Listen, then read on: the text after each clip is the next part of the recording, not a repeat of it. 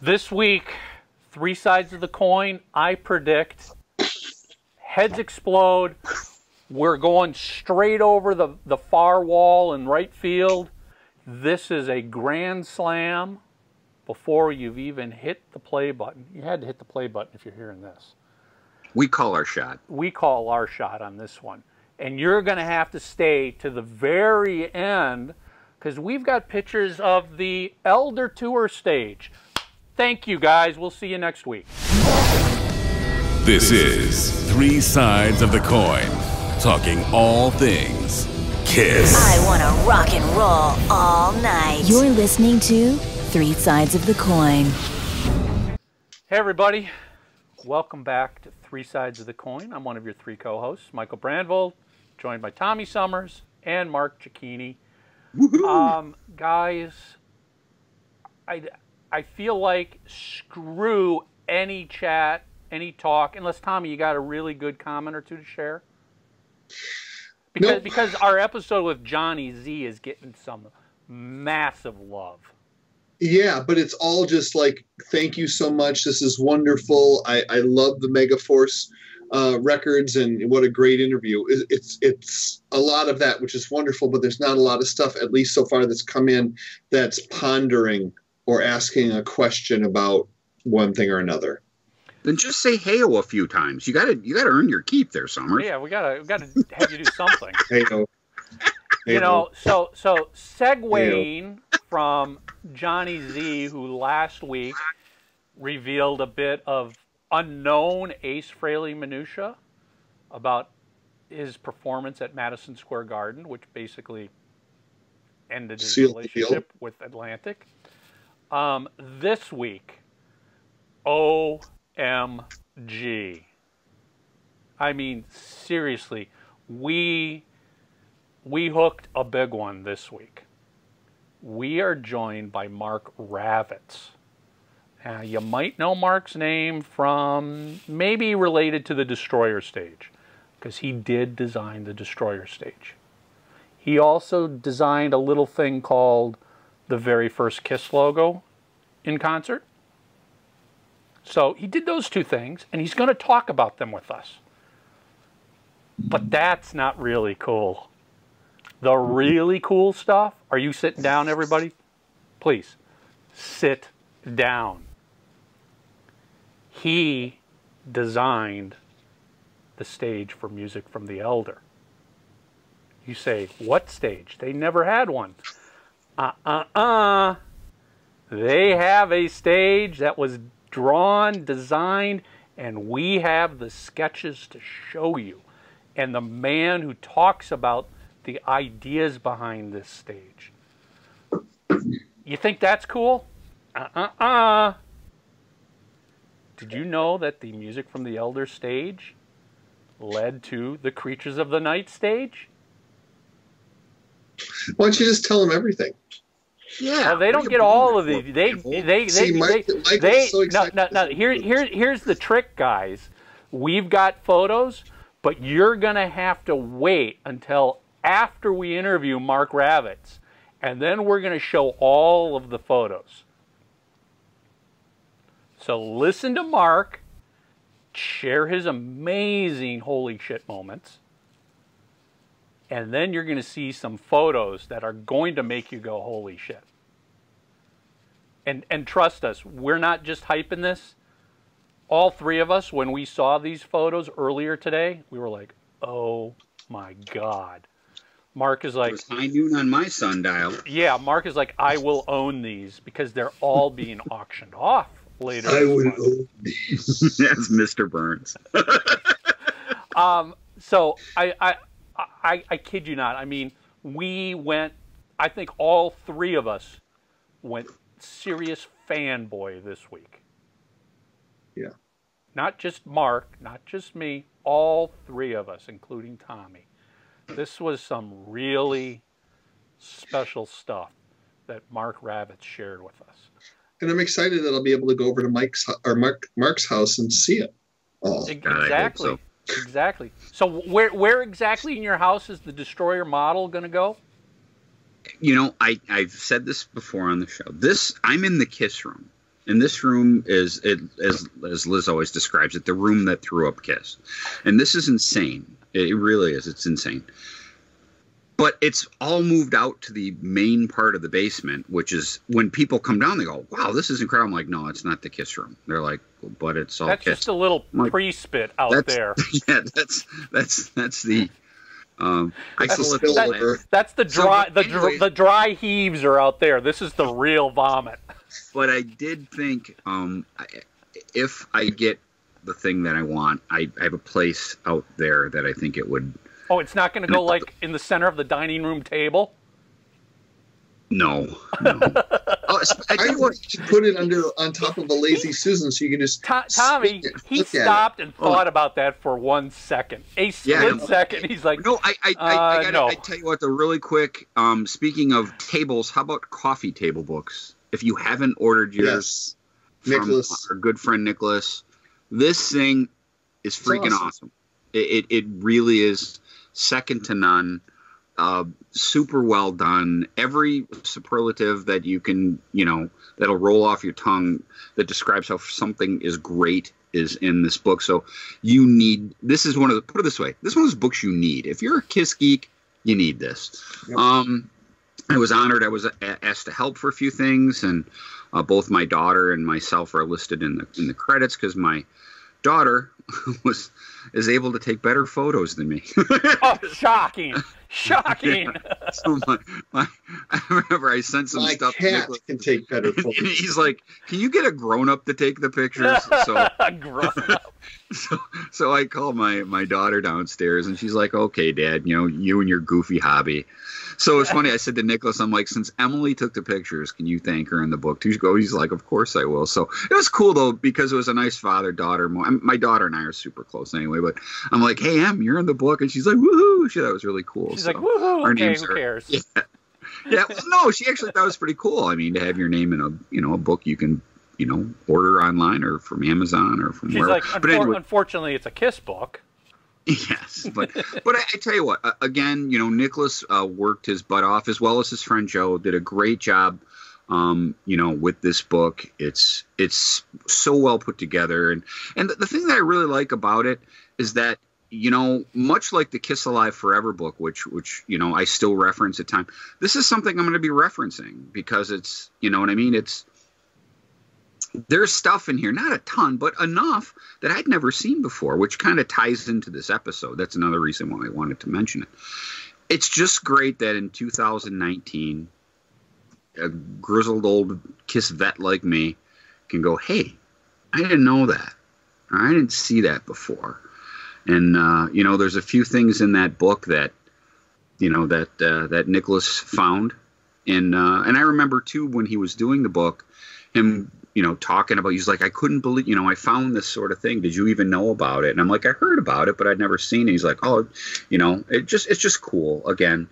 Um, so if you get a chance, uh, hottest brand in the world. If you if you watch this show, you guys know all. We, of- we've had him on. We've talked about it many times. It's done. But, uh, it's available. again, it's just- shipping. He did a beautiful job. He's a good guy.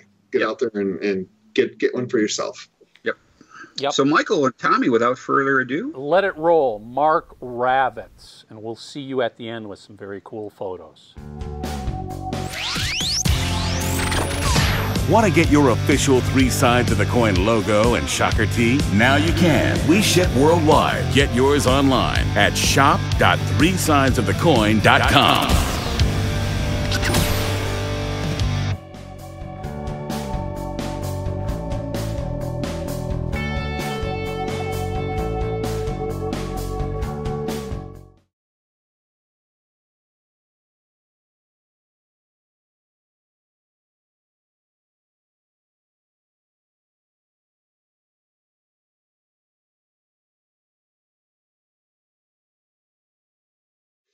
So everybody, I, I, I am beyond thrilled. We are beyond thrilled and excited to to introduce this guest this week. We Yes, are we are. joined by Mark Ravitz. Um, Mark, thank you first of all for joining us. And and Kiss fans out there, if you know some bit of Kiss history, you might know Mark's name in relation to the destroyer stage, which is something we're going to talk about. Um, but there's a lot of other stuff, including, I, I don't know. For me, it was it was like a holy shit moment. Pardon my French. Um, one of the items we're going to talk about later was just holy shit. I can't believe I'm looking at this stuff and seeing this. Um, Mark, why don't you go ahead and just give all of our listeners and viewers the the two minute elevator pitch, who you are and what you've done and why you ended up working with KISS. All right. Um, all right. So I'm a, uh, a, native New Yorker, and I've been uh, drawing and painting since I'm seven years old. And I wound up going to, uh, and, well, I went to High School of Music and Art in New York, and then I went to uh, NYU School of the Arts for Theatrical Design, which is now called Tisch School of the Arts. So I'm the first full four-year graduating class. One of my teachers there was a, a Tony Award winning lighting designer by the name of Jules Fisher. And uh, after I graduated from uh, from NYU, uh, Jules hired me to design the first tour of the rock opera Tommy, and uh, and I also did the Playboy. My first job out of college was the Playboy Bunny of the Year show. So um, you know, I'm not like a regular theatric or you know Broadway kind of designer. And uh, when this opportunity for Jules came up to uh, get involved with uh, uh both uh, David Bowie and Kiss, uh, Kiss uh, came, uh, I, I, believe. Well, you know, I'm not sure which came first in that year of 1974, but. Um, uh, uh, you know, Jules needed a, a designer to uh, handle this uh, rock and roll thing that he wasn't very really uh, into or totally uh, fluent in. And you know, being a student, he knew me and called me up, and so I started in on this to you know go see Kiss to begin with. You know, check him out. you know, Bill Aucoin was the manager at the time and uh, uh, so uh, you know I got to know him. But I went to uh, some of the clubs in Queens where they were first performing uh, with you know some makeup on. Uh, they didn't have a, a, logo yet for their background, but they did have uh, some uh, idea, or or Ace had an idea for a, uh, a Kiss logo, and um, uh, so we uh, we took it from there. I did their very first flash pots. I built their uh, logo, uh, what is now in what is now my living room. Um, Whoa! And yeah, yeah, and I was stage when uh, when uh, Gene went on fire that first time when he was blowing the. Uh, uh, the fire out of his mouth on the stage over there and at the Academy of Music. And the Academy of Music actually was three blocks from uh, where I grew up. I grew up on 11th Street and 2nd Avenue in Manhattan, and this is between uh, on 14th Street between uh, you know 3rd and 4th Avenue. So it was just a, a little walk away from me from where I grew up. Anyway, well, um, let, let, me um, let me ask you real real quick, Mark. So, being that you you said you're a native New Yorker, you grew up there. Were you aware of Kiss? Had had or were you a rock fan? Had you heard anything about this band before Jules said, "Hey, you're going to go do something with them"? No, honestly not, and uh, because they were there was uh, honestly they were small potatoes at that point. Yep. And um, you know nobody they was really forming. You know they had formed you know initially and were doing clubs, but you know they still didn't have uh, or their th- total through line, if you will. And um, uh, so, uh, and, and let, let, me say this too. It's like there, there are like various, you know, bands and stuff. And, I have to say, uh, after you know working with Kiss and stuff, I, I was surprised. I'm not really aware of any other bands that had makeup like this, or even attempted to do any kind of makeup like this. There were some, you know, individuals uh, that have, you know, maybe used some makeup here and there, even including Bowie with Ziggy Stardust or whatever. But they didn't, you know. For me, this this Kiss that I was seeing and and uh, you know putting my two cents in in their formation was. Uh, it wasn't even so much for me as a uh, a band, so much as an act, and you know, I, and so um, you know, I'm not going to think of Kiss to go and, and play like, uh, you know, uh, 50s rock and roll that I might want to hear. But they, you know, they're presenting themselves, and you know, that's all good. All I'm, all I'm saying is, so they're they're bringing a whole different kind of thing to, you know, with music, not exclusive music, but something with music and something almost more entertaining than music itself, or almost a three-dimensional MTV. Uh, uh, video, uh, if you will, before MTV Video was uh, really getting any foothold. And so, uh, you know, people like that. And uh, we're always looking and are always looking for something new and different, and uh, and this was. So I knew we were onto that at that point. You know, even early on, this is different for sure and um, uh, so that you know helped uh, me with my energy, and then uh, you know built the uh, the logo, and and in and in rock and roll, once you get into a project, if you're into the rock and roll, then uh, you know that's your focus, and everything else is secondary in life. Yeah, so, uh, that's true. You know, it, so that you know, so anyway, it's like you're gung ho for what you're doing, and uh, and that's all good energy so that's uh, that's how I uh, was introduced to them. Uh, you know, I definitely uh, you know you know said, oh, you know, maybe a little more of this, a little less of this, or whatever that may be, uh, and. Uh, but um, but that's basically it. So when we got to the uh, Academy, uh, before the Academy of Music, we had a uh, a private night uh, like a press uh, release kind of night uh, uh, with the introduction of Casablanca Records being the new uh, record company for Kiss. Uh, that was at the uh, what was left of the Fillmore East, and so that was like a, a ghostly kind of environment. And they uh, it was an empty theater, uh, some ripped up seats. Um, uh, and we came in uh, for Kiss. That was like perfect, and uh, we put a big, uh, uh, you know, spider's web behind the the band that would catch some ambient light and some you know light that was coming onto them, and the uh, we had the logo you know finished by then, and bang, we were rock and rolling that night.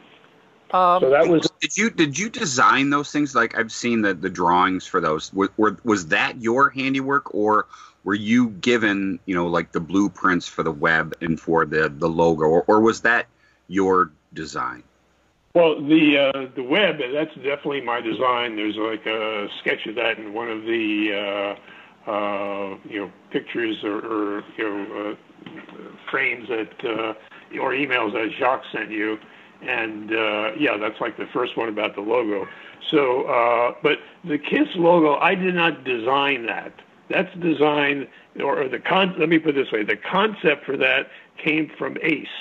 Oh, oh, that that that part we know. But what I was talking about was, you know, instead like like years on, as you know, when when you were working on the Destroyer tour, you know, the the logo looked the Alive logo, the logo from '74 and '75 was radically different from the one from 76 and 77 so my, my what i'm asking you is um, that first logo that was made looks like the rhinestone esque um, you know, from the first record with the lights, you know, acting that's, as the rhinestone. That's the uh, that's totally it. It was like you know, make that big, make the rhinestone logo big. Yeah, that's what I was getting. But so that's what you were asked to do. Yeah. And and and then, and then you and then your your task is to is to figure out how to make that, how to build that, and and obviously create something that they looked at and said, yeah, that looks exactly like we envisioned in our heads. Oh yeah, yeah, yeah. No, I mean I'm, I'm not inventing it. Sure, that's sure. for sure. So yeah, so as a you know designer here, make, you know, make this for me. Here's here's the logo. You know, make it three dimensional. Yeah, and that's what I did. Sure. Well, that that leads me to another. I mean, Mark, that leads me to another. That leads me to another question. There's a very famous photo amongst Kiss geeks, and I want to say it's one of their first shows when they were in Edmonton, and and it's in one of the Kiss books where the logo was like each letter was hanging and it didn't look so well. Um, eventually, that all got put on a, you know, like a riser on itself. Um, like well, when when when they, uh, you know, that that was the individual uh, night of how that got hung, but they were all on a separate. You know, they were all separate. They were all uh, like they were four feet high. They weren't huge, and they are designed to hang off of one pipe. So if all everything is uh, on one pipe, uh, and the, all the lengths of uh, you know chain or cable, or whatever, uh, were uh, the same, you know they should just all hang together neatly. I, I, I'm not aware of what the you know that particular picture, but uh, it, it, it, you know I, I don't know the cause of that. It shouldn't have been. It was yeah, too easy. I, I want to say it's the, one of the first nights they ever played, and in the photo, that's one of the things that sticks out about it. It's I think Mike and Tommy, correct me if I'm wrong. I think that's the only only photo like that where Yeah, I you know, think so. It, you know, the, the, the, the, le- the letters were, were at different, slightly off, different heights. Because, yeah, you, to Mark's point, they were hung separately. And it sounds like probably what happened based on, on and our guest Mark commenting here is they didn't attach it to the pipe, which would have kept them all level Right. and even. Yeah, because I one- think that's the only time that that happened. I mean, there's other circumstances I, where I'm, they I'm it betting on. that I'm betting that happened, and then after the show, Gene found the crew and said, "You're never doing that again because it looks terrible." Yeah, or or maybe you know the, maybe if they were all off of one pipe, maybe the pipe wasn't level. Right. So All- one all, thing would have those possibilities, yes. yeah. But I mean, I- I I don't know like where you know where that fell through the crack or so, what. so, so, Mark, did you have? Were there any any um, difficulties or hurdles you ran into in transforming basically a drawing of the Kiss logo into a three-dimensional four-foot version? Um, no, I mean, and it wasn't even a drawing. They either gave me a, a I, I think it was, uh, you know, may have been a uh, a rhinestone patch with that. You know, I, I you know, the, I made the drawing. Nobody made the drawing. I, I made the drawing, but um, you know, they gave me some sample of something. You know, to say, you know, this is the, or it was probably maybe a photograph of a rhinestone patch or something like that. But that that's how it came. I mean, there was nothing, you know, you know, intricate or mystical about it. You know, it was like, uh, here's the logo, and then you make it uh, 3D. And and as you said, that logo is in your living room right now. No, no, no. I made it in my. Made it. that's Oh, you was- made it. I thought. Oh, I'm sorry. I thought you said it's still there. No, I don't have it. And, No, and, no, and, no. and I was like, oh my God, that's a collectible to be had. no, no. All right, you made no, it. In your, I got it. I- I, I- got it. I, I, you know, I helped build it myself. Sure. Um, so But- I don't know if there's anything more to really talk about, guys, about the logo because it is what it is. It's just a great piece of history, the very first Kiss logo. Yeah. I, I, I think so. So then, then let's kind of follow your timeline. You did that. Did and when that was done, were you basically done working with the band? And how did you come back into the picture with the Destroyer tour? Right. Yeah.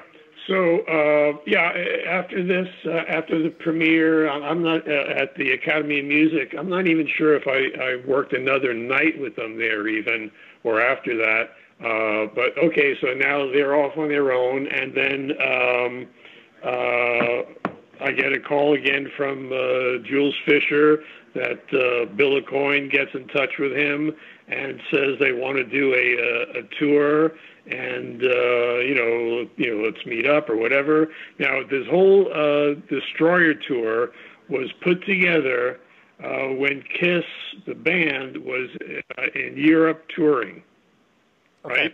So they had no input into this. And when they came uh, to New York, back to, to New York, and we went up uh, state to uh, Newburgh, New York, to Feller Studios uh, to see the set, uh, you know, near near being finished of its construction, they were pissed and uh, because they weren't uh, consulted about it. So They, it's like they, they, as in, was it just the four band members? Was it just Gene and Paul? No, I, I'm pretty sure if I remember correctly, it was the four band members and Sean Delaney and Bill Aucoin. I'm not sure if anybody else was there at that point. And and But- and so it was it was who exactly was pissed? Because I got to imagine at least Bill. Bill Bi- okay, just band. just the band members, because Sean Sean and Bill, I'm sure, were in constant communication. Um, perhaps, but but Sean, you know, maybe he uh, you know showed a little of the uh, disdain for it, you know, maybe to you know back up the band or whatever. I don't know, but uh, but you know they were all they were upset that they weren't included, and you know so I understand that. But what what was the, the only really negative thing about it was they came onto the sta- you know onto the stage, and th- you know this particular shop that built this. They were building Broadway shows. They were building opera sets for Metropolitan Opera. They had some of the finest craftsmen in New York building this. And they came up onto the stage, and it was especially in uh, Gene in uh, Paul's area down front, the Love area that had all these. It was a bejeweled area down there, and uh, they they physically, you know, ripped part of that up just to like you know release uh, their uh, their distaste for it. And that was everybody just watched that, and it was just like everybody shaking their heads. Bill Bill Aucoin was shaking his head, and it was just it wasn't a pretty sight. Let me just say that. And uh, so that was that. Then they so from there we uh, regrouped and uh, added the uh, uh, breakaway uh, walls for the uh, city and stuff, or the uh, you know the crumbling walls or whatever, um, uh, you know down left and right of the uh, drum riser. And um, that's pretty much, uh, you know, maybe retune the uh, the jeweled area again, and uh, that's pretty much it. Most of the elements that we created as in, as individual, uh, you know, stylistic areas for each of the uh, uh, characters, if you will, within Kiss, those were maintained, and because they like the design of all that, and uh, and we went forward with that. You know, you know, you know finish the uh, building everything, rehearsal, and then opening in uh, Norfolk, uh, Norfolk, Virginia, on uh, July 3rd, uh, with the uh, red, white, and blue lightning bolts uh, up above. For, I, you know, for- I Oh, think it's it's- the coolest stages I've ever seen. I didn't get the chance to see it in person, but it's interesting that you know they had such a reaction to it because from a fan's point of view, it seemed like it fit perfect because it was different than anything I'd ever seen before. You mean the destroyer set? The- Yeah. yeah. Oh, yeah, yeah, no, no. The the bulk of it, they uh, they accepted as uh, we like it, but because they weren't consulted at all. So, uh, so that, that I was going to ask you that. So their their anger was mainly the fact that they weren't consulted, not that they didn't like what they saw. It's just nobody talked talked yeah. to them about it. Yeah, they they uh, like they didn't express anything towards me, you know, as a designer. They were expressing it more towards Bill uh, for not talking to them about it or asking them So about so and, and, and we've we've got some images we're going to show of of some some drawings, some sketches, and of course a, a beautiful 3D model that was created. Oh, It yeah, sounds it sounds yeah. it sounds like none of those things were shown to the band in advance. Right? Yeah. Yeah. No, the uh, the model definitely not. And uh, you know, and uh, they were really like in the dark about it when uh, you know when they when they saw it and stuff. But um, you know that that model and, all the design for me, the design of the lighting towers, uh, you know, that that came evolved uh, that evolved from uh, when I would uh, drive out of the city and go to uh, Jersey on the Jersey Turnpike.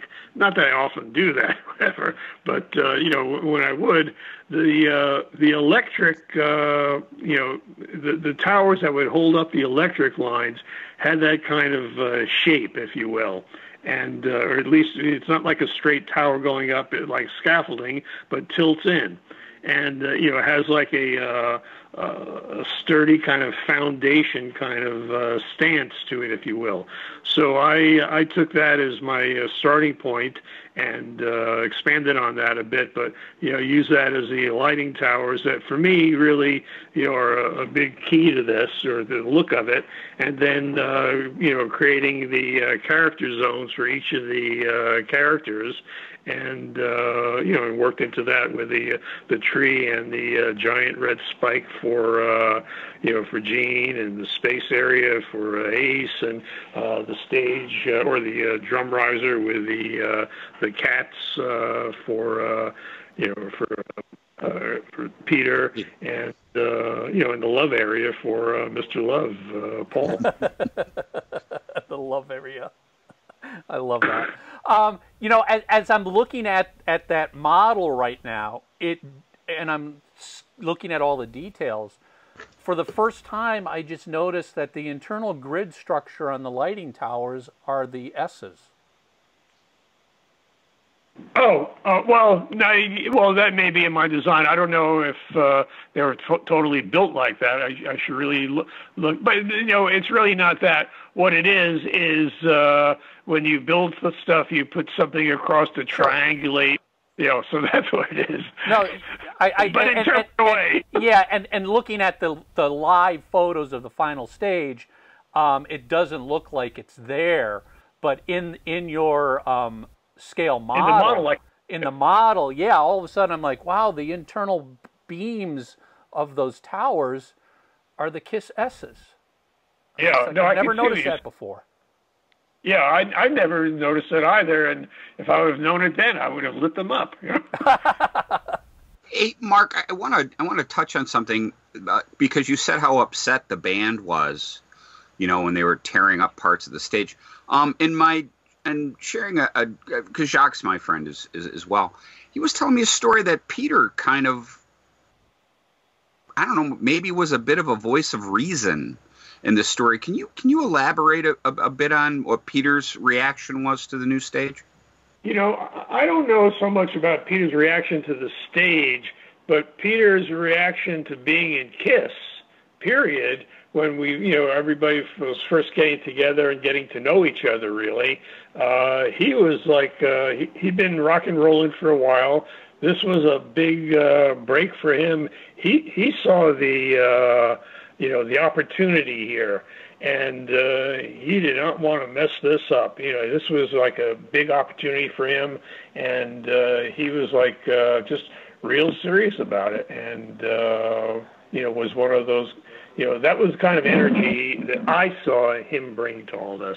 Now, you know, other, you know, uh, you know, I, I, from what I understand, you know, as time evolved and their incarnation, various incarnations of Kiss evolved, you know, over many years, uh, you know, things, uh, you know, changed uh, for Peter and his perspective changed, and you know, life changes and and fame changes you and stuff. So, you know, I, I can't, re- I, I don't know him beyond you know my last meeting with him, seeing him, and that would have been in uh, the uh, Destroyer tour, and he was still their drummer, and he was still good energy for them, and uh, everybody loved each other then. and, uh, well, you know, I w- that's exactly why I wanted you to, to elaborate a little bit on that, because especially in history now, as it's told, and I, I know Mike and Tommy would back me up here you hear just so much about Peter's, you know, the Ayatollah Kriskola and, you know, just the bad things. But there was a time when, and, and you lived it, Mark, you lived it. And, and that's what I wanted you to elaborate, what you just did, is that he was a positive force. He did really? see the, you know, the good in all this and and you know there like you i loved i loved your term mark where you said the positive energy that he he brought yeah. at the time it's like you know, you know, you you see it, and you know it. The Paul and Gene are in essence the spokesman for the band, right? If you will. I mean, and, and, and the leaders of the band. So you know, so Peter and Ace, uh, you know, they stayed in the background, whether that was intentional or not, or I don't know what the dynamics were, uh, you know, within the band about that, or the business of it about that. But uh, you know, uh, you know, they stayed in the background. But but uh, but Peter, he maintained his end of it and uh, you know was uh, you know happy to be there at that time with uh, you know always good energy that I saw. I, I want to ask you because you just I, I always loved this stage. How did you come up with the idea? I mean, I know that Peter was the cat and all that, but I, I that's one of the things on the current tour, and I don't know if you know anything about this. On the current Kiss tour, where the end of the road, what they're doing in 2019, they brought Sam the Serpent from you know the Love Gun Alive 2 era uh, uh, back to the stage. And one of the things I was really hoping to see during this end of the road tour in 2019 was the return of the cats because I always thought that was really cool. Just picking your brain when you were when you were drawing the drum riser what made you think of that or in that form? You know what I mean? Because obviously, you know, when the riser went up, uh, you designed the big cat, you know, uh, on the banner that went, you know, underneath the drum riser and stuff. Right. Uh, um, by the way, I love the one from from Destroyer. I that that single head is just so freaking cool. But if could you elaborate, or do you even recall how you got the idea for putting the giant cats on either side of the kit? Um, well, uh, okay, so you know, Peter is a cat to begin with, and uh, so I think I was probably looking at uh, Egyptian history and uh, looking at some of those kind of uh, image, images uh, from that, and you know, just you know, one thing led to another in my head, and you know, you know, put them there, I guess. I, I, I, I don't recall totally, other than the, to extend the image of uh, the cat, and um, uh, so I drew them up. Uh, uh, we hired a uh, sculptress to uh, make them, uh, you know, full size. They were first made out of a material called Silastic, which you dip in acetone and it hardens. So she made a, uh, giant uh, um, uh, clay figure and then covered them in Silastic, cut them away, and made another one, and that was it. But that's that's how they were made, and then sprayed up black. Cool, cool. I, I didn't know if that came from a you saw a, a, statue or something, but you know, come to think of it, they do have sh- some sharper images. I can see a bit of that Egyptian feel. What you're what you're talking yeah, about. If you yeah, if you you know that's that's where the uh, my, my primary uh, you know thought came from. You know, I'm sure they get uh, massaged a little here and there, and when somebody else you know has some sculpture to it, their own hand uh, handwork, you know, it changes a bit. But that was the definite thrust of it and uh, yeah, they were fun. They were definitely fun. Mark, how much um, direction or or um, guiding guidelines did Bill and or Sean give you in advance of creating the Destroyer stage?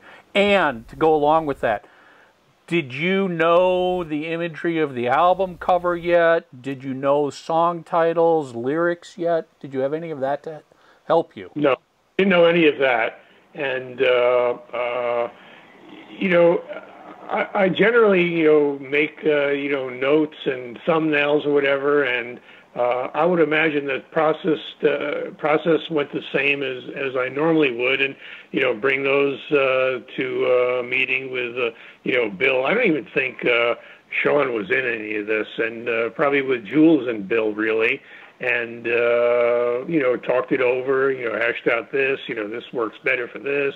You know, and uh, uh, you know, I'm not sure totally if if Bill came up with the idea of separate character areas or I did. I, I just don't recall honestly. And uh, but you know, it made total sense. And uh, uh, and uh, that's how we proceeded. Now, so. It, you know, it's like, well, uh, you know, doing doing theater, uh, that's like a, a group effort. And, uh, you know, some people have a bigger voice in it or not, you know, et cetera. But it's always, you know, somebody will throw in their two cents about something and becomes a, you know, three dimensional. And, you know, and then a lot of other ideas by uh, somebody uh, will just, you know, dissipate into nothing. You so, just keep building. Yeah, yeah, that's it, honestly. Um, I wanted to ask a question, and this might all be rumor. And for all those of you who know the answer to this, please don't ream me for asking it. But was there a failed um, pyro or a failed effect with this stage regarding some type of a lightning strike? Hmm. I'm not aware of it. I, you know, I am aware of various. Uh, you know, they, they were looking for a lot of. They're always looking for effects. Yeah. And you know, some work better than others, and uh, so I'm not aware of any. Although I've heard, you know, you know, I, I heard, oh, this didn't work or that didn't work, but uh, but that's the name of the game. Some work better than others, and some uh, don't. Okay. Um, Mark, in in amongst the images that Jacques sent us, um, especially images for the Destroyer tour, I'm just noticing now a blue pen sketch of a stage on white ruled paper, and it's got the candelabras on it, and and I'm almost wondering.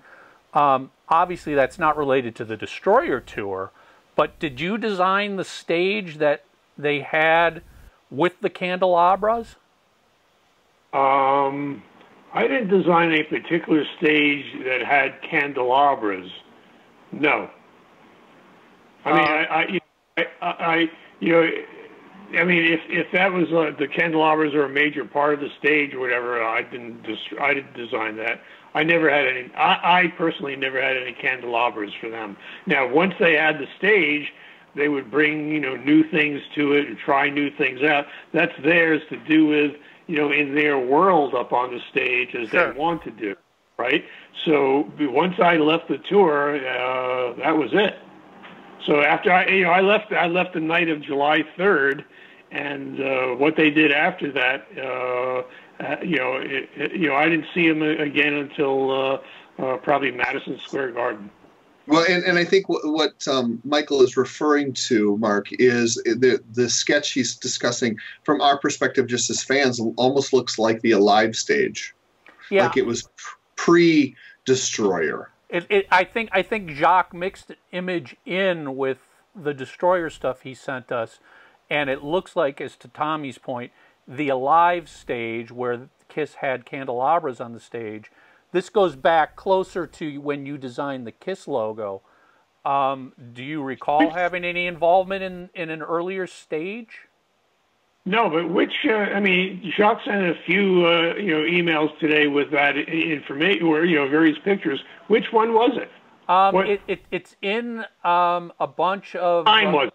Um, it, it's numbered 67c.jpg, and it's with a group of photos of the live destroyer stage Uh, uh, that he sent this that, morning. that, what that, that he sent this morning. Yeah. What time was that email? Oh, um, here, let me see if I can find it. That would have been. Give me one second here as I'm stalling for time, as I'm searching. Searching, searching. Destroyer stage part two. Come on, let's see here. 60. So it would have been, he sent it 555, 555 a.m. Yeah, But that's which would have been uh, 855 Cal or New York time. no, no, but it's uh, with uh, the Kiss Destroyer tour stuff. Yes. that was in two parts. Yes, it's in Des- Destroyer Stage Part 2. Looking at it, I don't see it. Um, yeah, it's it's in the email 1976 Destroyer Stage Part 2 and it's the image 67C that he attached. And like I said, it just looks like I mean, it looks like a legitimate image. It just obviously is not part of the Destroyer stage. It's earlier in their career. I don't. Uh, I don't see it. Maybe maybe we've discovered a little bit of uh, rarity here that that that Jacques sent over. All right, well that that that's fine. I So have that too. I mean, yeah, I would have that in the email, but I, I don't see it in the in the number two email for the stage. Let me look at number one. I,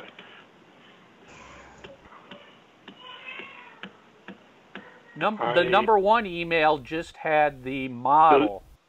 in it. yeah, it's just. Model. Yeah, I don't see it on number two at all. Oh, interesting. Okay. Well, I'll ask Jacques about it when we're done here. What he knows Okay. about it.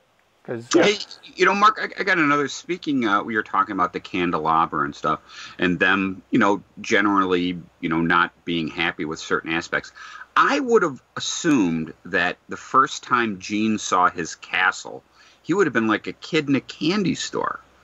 I mean, uh, do you have any recollections of him seeing his, you know, blood castle for the first time? Because boy, that to me would seem like that was right up his alley. Yeah, no, he you know he definitely used it. He he didn't really express any uh, anything uh, you know like you know wowie zowie about it or whatever. But uh, you know it's almost like for me when when he uh, you know didn't complain, that was good. exactly. That no news is no news is good news when News it is comes good to news. it. Right?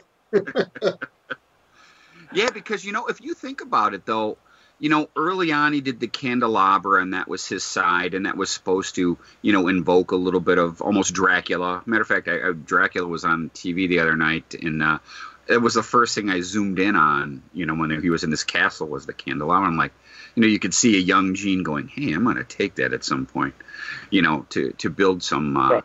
some mood. But man, I remember the first time seeing, you know, pictures of the destroyer tour and just how freaking cool it looked you know it because it really that out of out of all the other stages really captured the vampire sort of you know motif more than anything else. Because think about it you know and that's the odd part about the destroyer tour. It it didn't it didn't last long you know they only used that stage for a few months and that was it and by the time you know because that started what in july of 76 July third. Yep. yeah by the time the rock and roll over tour started it was stripped down you know a lot of that stuff was gone you know they Right. had the stairs in there i mean it really did you know they really did strip a lot of things back and i don't know man i i the destroyer tour be, whenever you get to see photos of it again just because they're it didn't last all that long there's not a ton of them and i thought that tour that you know what you designed really captured the uh, spirit and imagination of the band. Um, one more comment on the destroyer stage. One of the things that i've read in uh, you know all my uh, research on Kiss and reading about them is that the Destroyer stage, though they were upset because the lighting was behind them. There, you know, it was kind of dark on stage. Um, did do you have any comments about that, or did you remember any conversations about the stage not being lit up well enough? Um, not really. I mean, I, I wasn't aware that it wasn't lit up well enough at all. I think they, you know, I, I thought they, they looked good for what they were doing, and uh, you know, we had top professionals lighting them. Uh, they're not going to have their work uh, looking bad, so I'm not. Uh, you know, that, that's a subjective point of view. I, you know, I uh, it didn't look bad to me. No, no, no. I'm not saying it did, and I certainly agree with you. I thought again, I I sing its praises, but I have read that when that tour started, some of the the people um, in the production thought it wasn't well. It was too dark on the stage. It, there wasn't enough front lighting, and um, again, I just wondered if you heard anything about that sort of thing. Uh, honestly, not. Although you know, we did not have like a big front truss. You know, we didn't have that, but they had a lot of spotlights in front, and uh, the towers were left and right, so they were getting the front edge of the stage. So you know, I, I uh, you know, I, I I have no further comment. Fair enough. Fair enough. So, so, so, Mark, let's now fast forward uh, basically six years from 1976. We're going to move to 1982, and this, this, at least for me, and I'll let Tommy and Mark add their own adjectives. This was my holy shit moment. This Yes. is the, this is the elder tour stage for oh. everybody who's listening. You need to go watch this because we have some absolute amazing, never seen before sketches and drawings of the stage for music from the Elder, dated 1982. Um, and and let's let's dig into this. So, well, Michael, it's very important that you start in the correct month. Yeah, so that that's what I wanted. That so timeline, Mark, you've got it listed. Kiss, like I'm looking at the very first image here, which is a sketch with a lighthouse and a ship's wheel. Um, oh wait, wait, you wait, wait. Now you're uh, the first, the first sketch, the first drawing on this email is uh, is Carr's uh, yes, I, I, wa- I want to I want to get to that in just a little bit because that's going to be its own own little discussion following the elder stage here. Um, right, right. But so, do you recall when in 1982 they reached out to you to say we need to do another stage?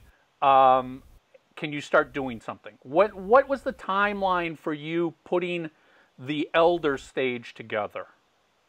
You mean like what month did yeah, I start? Yeah, When when when were these drawn? When was this being developed? Um, I don't have them in front of me to like uh, you know I, I have the email and stuff or the uh, the pictures from Jacques, but uh, to go through the notes. I think it was uh, Jacques. I, I, think it was like in February, but I, I just don't know for sure. That's very. That, that's what Jacques told me. That's very important to the story. I want everybody in our audience, what he just said, early '82. Okay, that's very. Just right. because this is a Kiss podcast, that's very important. That is a pivotal part of your story when it started. Now that would have been February you know through April or so is when you were brought on board, correct? Um, well, February's before that, so I think uh, you know. So I think I think I got contacted some you know sometime around then. I mean, I, you know that's what I'm saying. I don't have all you know all the papers in sure, front of me. Understood. I has them all now, but I think probably in some of the receipts in one of the envelopes or whatever, you know, may have uh, you know dates like that. But yeah, no, I you know I was uh, contacted early on. Uh, had this had nothing to do with Jules Fisher. Now this is them contacting me, and uh, uh, so okay, so I you know I go and uh, um, you know bring. Uh, uh, you know, you know, bring my mind to the uh, situation and uh, uh, create something new for them, knowing where they've come from, and now I want to create something new for them. You know, take the same energy but take it to a new place. And I was honestly, I was heartbroken when this thing didn't work out because uh, you know I, I just had a whole new d- dynamic for them, and uh, they just uh... yeah. I mean, I for for for our listeners, not our viewers, the the images we're going to be putting in the in the in the podcast here for the elder stage. Um, just imagine the de- destroyer stage, but ramped up dramatically. The whole concept of themes and areas on the stages and everything else. This this really kind of took it to the extreme for sure. Um, yeah, and okay, I'm sorry. I, I was going to say, do you recall when you when they contacted you and you went and met with them to start this process? Was the band now involved, or was Gene and Paul immediately involved from the beginning with Bill Aucoin? Um, so again, it, it was Gene Gene is the one that I saw when I had things to show. And uh, he said his first thing, okay, show me what are the what are the gimmicks? What are the gimmicks? That was it. He looked at anything. What are the gimmicks? What are the gimmicks? What what what did they get now? Pre hitting the record button, you were telling us you didn't even realize this was the quote Elder Tour, and one right. of the sketches actually um, in the bottom says KISS United States Tour. It doesn't have a name. It doesn't have a year. So, did, what what sort of information did Gene give you to say? Um, okay, here's here's the theme. Here's the premise. Here's the story. Here's the whatever. What did he give you? None. He gave me nothing. He only looked at what I gave them to look at he reacted to what I gave him to look at. Wow. So so you so all of this was designed without even knowing the album was the Eld. Well, but by this time that album was out. So were you assuming it was going to be related to that album?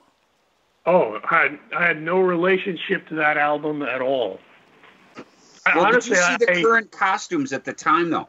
Were you aware of their their I don't know how dressing down? Their and, uh, image, yeah. yeah, Well, I, I know they were looking for like a, a shot of adrenaline, and uh, um, and so you know, and you know, so you know, they were like uh, you know, they had their different characters, but they're also like you know, semi uh, heavy metal, if you will. Yeah. So, you know, so when I uh, started in on on this uh, design, uh, I was trying, and, and you see that in some of Eric Carr's uh, design a little bit. Uh, I was into okay, you want heavy metal?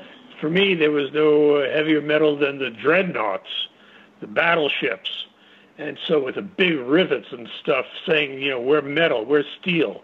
And so uh, that's what you see on the front of the drum riser here in Eric's. But uh, you know, I was going to take that to a whole other level. And then when you have, uh, um, you know, for sound, uh, you know, it's like, you know, you want to blow out sound.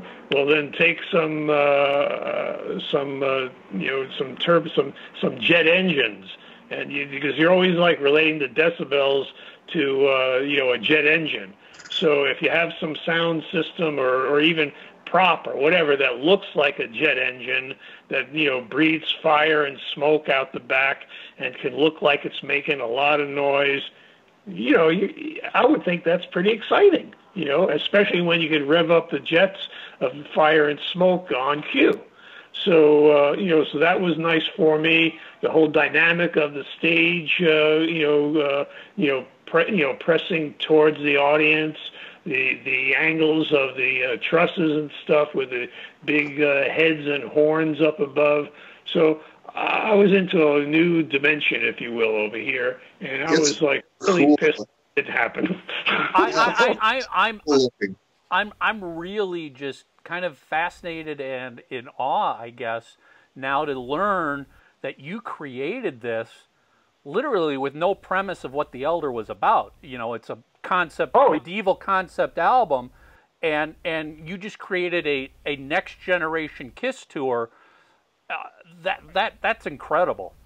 Right, because I, I, for me, I created the the uh, first generation Kiss tour, and now I'm creating the generation that I want to see. Well, if nobody's talking to me about what you know, you know, you know, bring me ideas.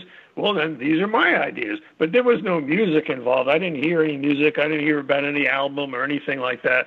What are the you know? So when I brought this variety of uh, of imagery to uh, Gene, uh, you know, what are the gimmicks? What are the gimmicks? And that was it. Now, maybe it was just too much for them altogether, because uh, from what I understand, you know, uh, they went through a variety of changes, uh, you know, you know, after these designs were presented, and it might have been monetary, it might have been personalities.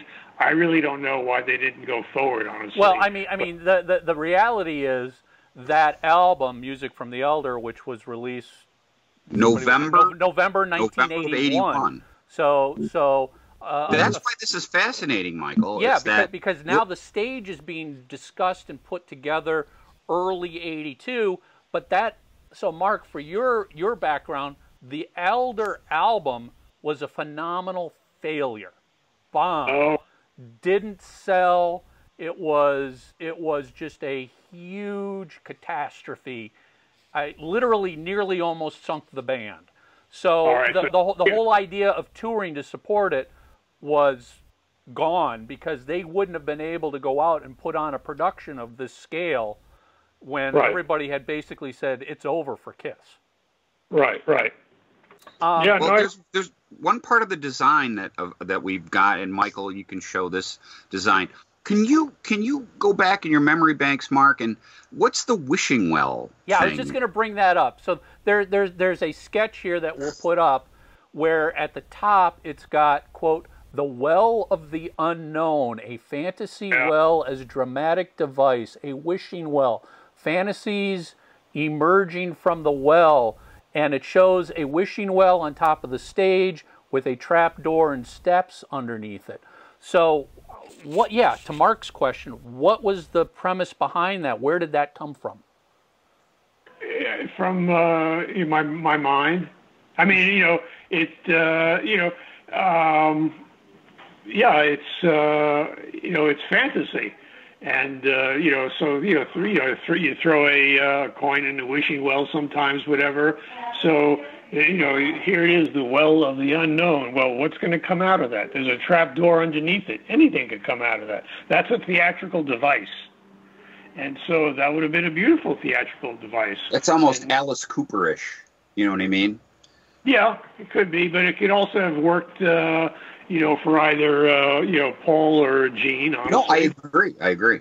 It, yeah. it, it would, it's certainly a, a new dimension and a twist. And and I guess the part that I think Kiss fans like me and, and a lot of the folks in our audience, this is the first time we're hearing that. We, we, we'd always heard as fans in, in history that there was supposed to be there was supposed to be a, a, a, a movie with a script for the elder because it was a concept album of medieval story and that they were going to tour on it well we we know a script was worked on but canned and and according to all of mythology that we know the tour was nothing more than hey we we would we had planned to do a tour but it never got to the stage that we are actually seeing right now where sketches and ideas were put together and presented. Right. Yeah. Um, Yeah. again, just absolutely Yeah, it's- fascinating. Um, It is. You know, one, one. So another one of these sketches at the top has um, propeller power. Is you know Right. what? What was? How were you going to use a giant ship's propeller on the stage? I I don't know, but it was like uh, you know, it's a powerful uh, symbol. Uh, it's it's uh, metal, uh, but below that there is uh, the Kiss Temple. I was going to say now the Kiss Temple is just as interesting. A stylized design um, Yeah, of Egyptian inflatables. yeah, um, if you So, if are, you so realize I guess so. Quick, quick, quick, quick. question. So these are just you kind of putting your ideas on paper. It's not necessarily tied into anything. It's just the idea Right. of, of the power of a propeller. Oh, the idea of a Kiss temple, and you Sure. present these ideas and hope some you know hope Gene goes. I love the temple. Let's build a temple, and then you Yeah. focus on that. Okay, okay, got it. Well, Got it. yeah, sure. You give you give them a menu. I mean, this is how I would work with anybody. Uh, you know, David Bowie. Also, I mean, I would give him a whole. You know, initially the first time I worked with him, uh, you know, like five pages of uh, you know uh, of a variety of stuff. I like this. I like that. I don't like this. I don't like that. Same thing here. And uh, you know, I did that for uh, uh, Whitney Houston. I, you know, I've done it for other, you know, other artists I've worked with. So okay, because yeah, you don't, you know, anyway, you don't. As a designer, I don't necessarily put all my my eggs in one basket, but uh, you know, initially because you have a variety of thoughts. Well, what, you know, what is the client uh, into?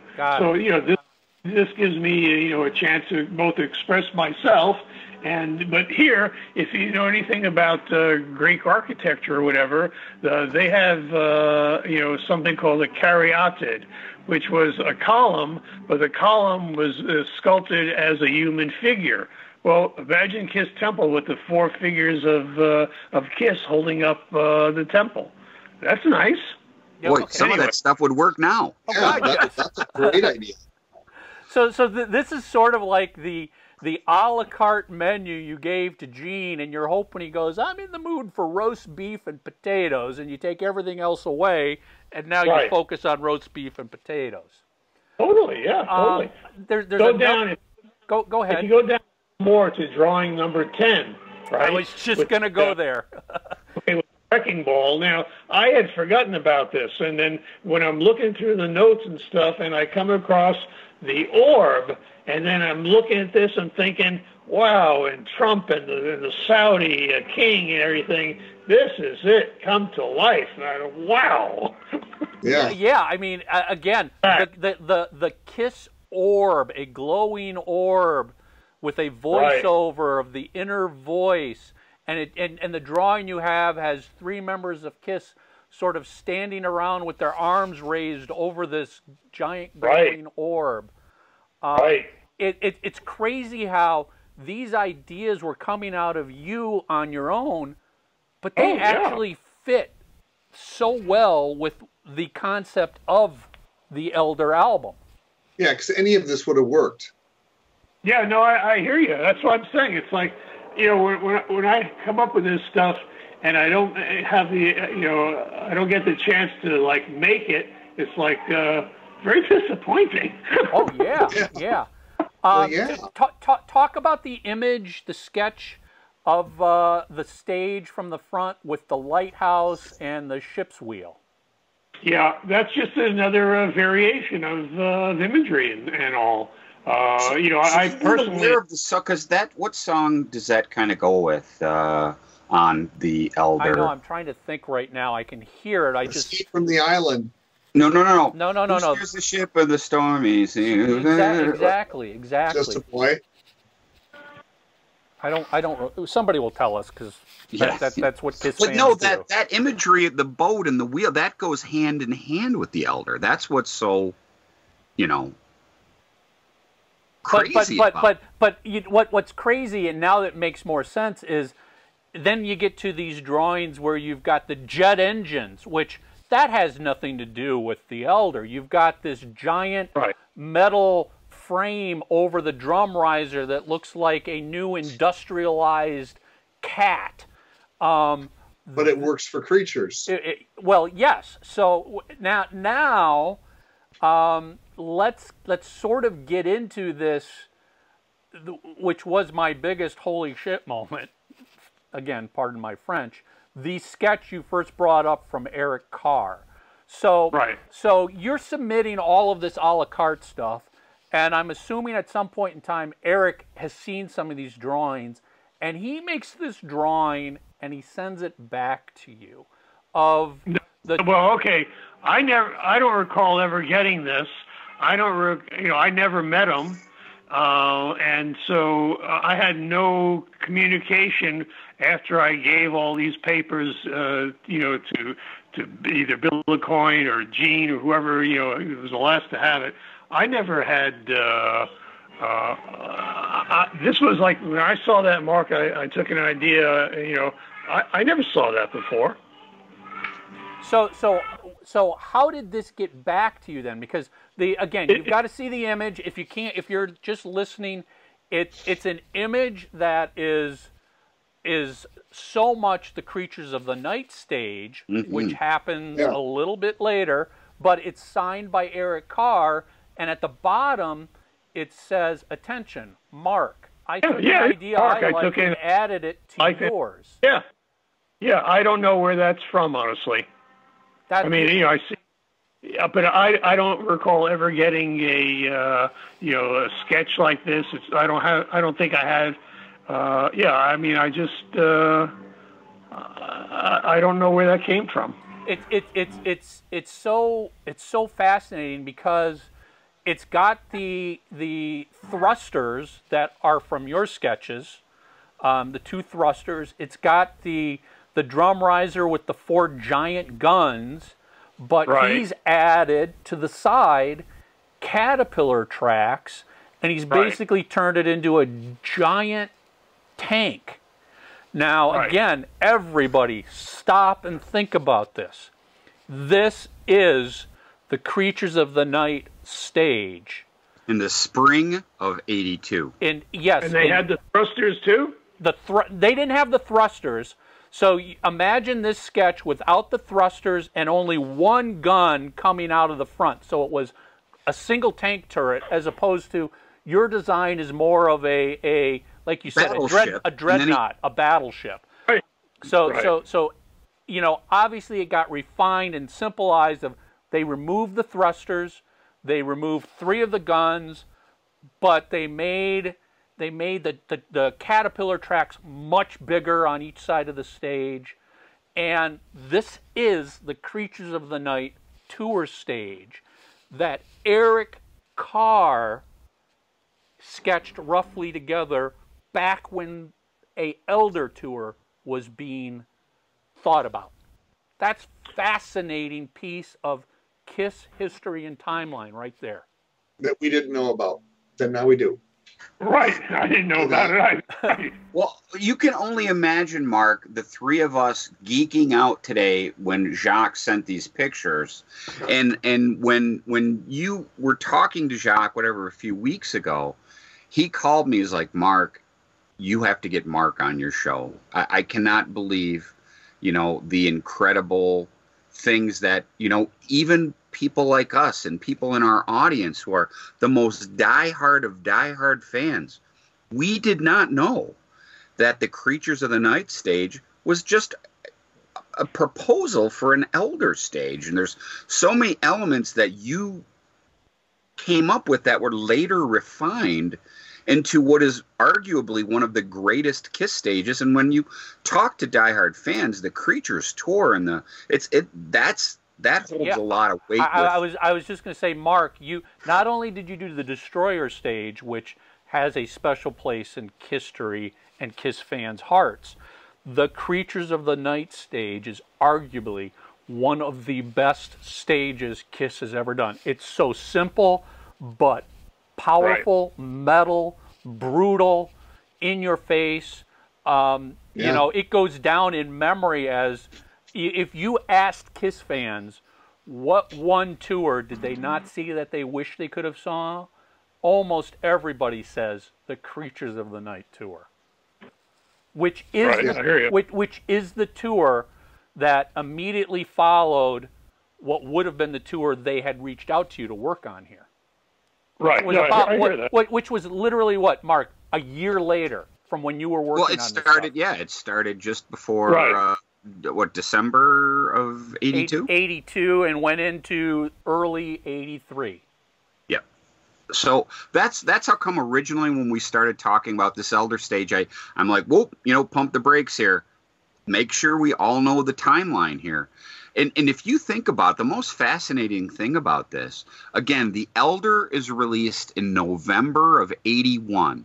So then you have the Christmas season. You know, you get involved. You know, February, March, April in that area. By then, they know this this new album and everything look everything is not working and they obviously came to somebody like you went and they went you know what we need something special and man you you freaking delivered So, You know so what I mean? inadvertently, you you don't realize it, Mark, but you designed with Eric Carr's obvious input and help. You designed the Creatures of the Night tour stage that they ended up using. Yeah. without They owe knowing- me money, right? Yeah, yeah, no doubt. Good luck collecting it. But no, no, Mark. If you get a chance, uh, you know, maybe when we're done here, maybe Google the Creatures of the Night live photos and stuff. You'll start seeing a whole lot of your You- you'll, handiwork. you'll look at that stage and you'll go, "Oh my God, that's that's rivets, I've- that's bolts, that's I've steel seen that plates. before. I've seen that. I've drawn that before. uh, yes, this, this is the absolutely most fascinating part. Well, not the most, because the whole Elder stage is absolutely fascinating on its own. Because, again, we never knew it went this far. We never knew it had gone as far as sketches and discussions and, and ideas. And then to learn that what was basically the Michael, failure freezing up a lot. the failure of the elder led to creatures of the night. Yeah. Fascinating. Well- You don't succeed at first, try, try again. Yeah, this I, I I I mean again, I'm just I'm s- I, I'm I'm speechless. This is just one of the coolest things we as Kiss fans have come across in decades, decades to learn about. Well, on, on top of that, you know, out of all the stages we've seen, we've never even seen designs like you know the all-seeing eye and you know the Kiss Temple and stuff like that. Just opens up a whole nother, I don't know, what if? You know what I mean? Because we talk about that kind of stuff on the show all the time. Mark, that that was just stuff I wouldn't even have thought about. You know what I mean? And it's cool that that Kiss at one time kind of went through those ideas, and we as fans had no idea that those were options. And you Yeah. can't help but going, God, that would have looked freaking cool. Yeah. for me, like uh, you know, like for for example, the, the well of the unknown. That's just not a prop, or you know, uh, that's a whole story. You could like uh, make a whole story around that, and uh, or the orb, or or things like that. Th- Those kind of elements for me, uh, you know, that's just the start. You know, it's like a whole. You can develop a lot of things out of that, and even more than one thing out of. You know, for example, you know, the well of the unknown. More than one thing could come out of that. You know, so you know, it's it's like things like that. You know, I I get. Uh, I'm sorry that I didn't get a chance to. Uh, you know, fulfill uh, you know my fantasy about this. and, and it, I, I'm sorry you couldn't either because you know when we talk, we as Kiss fans talk about Kiss tours over the over their career. One of the things that always comes up, and and the three of us talked about this in relation to their newest tour, is we wish they did more themes related to their personalities on stage Right. rather than just it's a stage filled with amps and lights and lots of pyro. It's like Right. that that's every band can do that. What sets Kiss apart are the four themes, the four characters, and why don't they do more stages built around the demon, a cat, a spaceman, a star child, a lover, whatever you want to call Paul. And Well, they, they, they don't. I mean, they did the Destroyer stage, which was a short tour. They did the Creatures And, stage. well, that, that's what uh, I started to say, you know, at the beginning of our conversation. It's like um, I, I didn't look at them so much as a band as an act, and uh, and so that's how all the character stuff evolved even more so. And uh, you know, so you know that that's where where all these you know the, you know these sketches and stuff come from. I'm thinking of them like that, and uh, you know uh, because what are these things for? They're not for like a, band, you know. I mean, or like a you know uh, j- just a band. Let it's not just for a lead you know? guitar They're player. For, it's uh, for you know, it's for a spaceman Ace Frehley. Right, right, right. Now, now, Yeah, a- that's af- it. after all of that discussion with with Gene had gone back and forth related to what was going to be the Elder Tour, um, did you ever have any more conversations with the band anywhere else throughout their career? You breaking up. You're Mike, breaking you're up. breaking up really bad.